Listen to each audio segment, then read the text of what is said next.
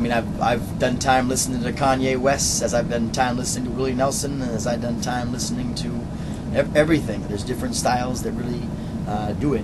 There are wells, there are things that uh, really have inspired me, whether it's Bob Marley, like the tribute we're doing this evening, you know, the Beatles, or Bob Dylan, or Pink Floyd when it comes to those things.